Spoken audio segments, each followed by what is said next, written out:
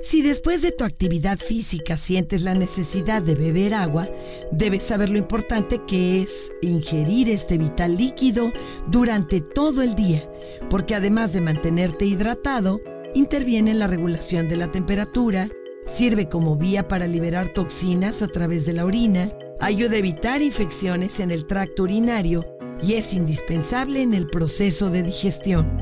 No tomar la cantidad suficiente de agua es tan malo como beberla en exceso. La primera señal de deshidratación es sentir sed.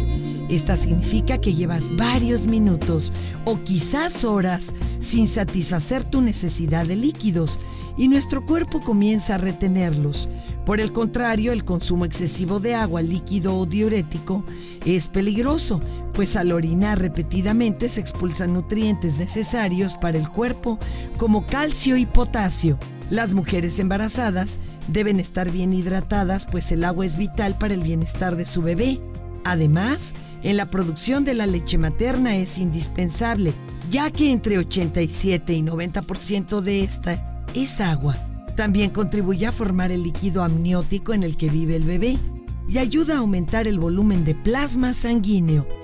Por regla general, el consumo de agua recomendable es de 2 litros al día, tomando en cuenta que los alimentos sólidos como las frutas, verduras e incluso la carne también aportan un poco de agua. Profeco, la fuerza del consumidor.